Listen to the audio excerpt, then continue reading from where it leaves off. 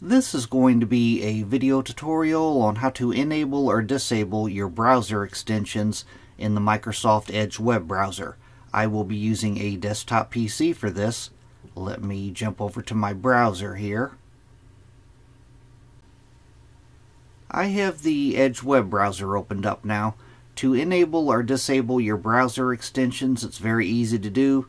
There's more than one way to do it. The way that I'm going to show you you want to go up to the upper right hand corner up to where you see the three dot hamburger menu you want to click on that then you want to go down to where it says extensions and click on extensions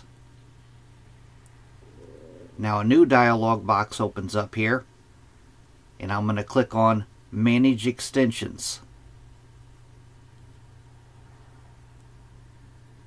Now in the new window that opens up, I only have two extensions on this browser. The top one here, AdBlock, as you can see, I have it toggled on. The bottom one down here, Google Docs, I have it toggled off. Say that I wanted to enable Google Docs, I'll just click on the toggle to enable it.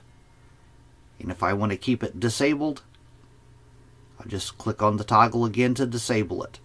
That is how to enable or disable your browser extensions on the Microsoft Edge web browser. Thanks for watching.